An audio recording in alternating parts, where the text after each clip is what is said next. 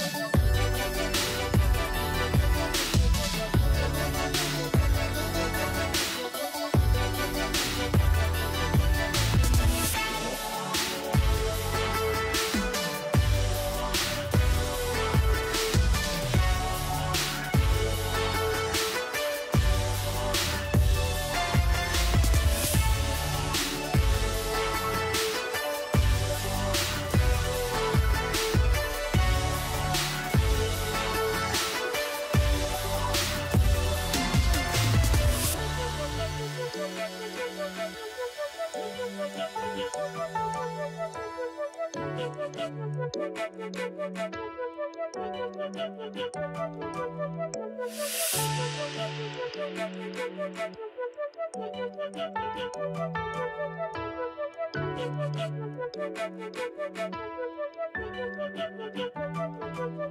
you.